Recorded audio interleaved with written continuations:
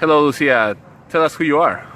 Hi, I'm Lucia. I'm a Master of Integrated Water Management Masters.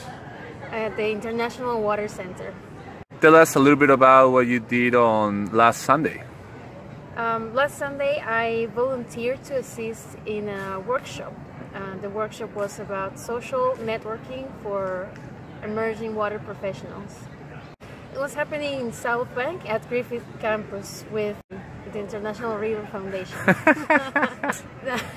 About the what were the objectives of this workshop? Who who participated? What was the process, and what were the the outcomes? Um, the participants were emerging water professionals from different nationalities.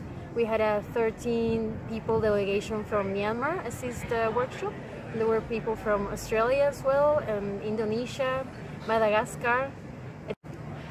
So, what value do you think the workshop participants uh, took out out of the out of the process?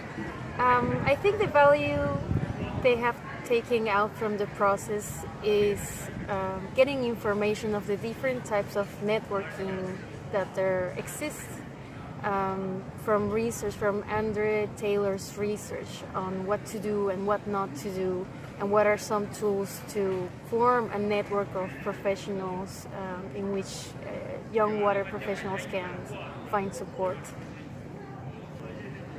What were the highlights of, of this workshop? The highlights of the workshop uh, were, um, from my perspective, the highlights from the workshop were uh, the content of the different types of networking that exist, tools to practice networking.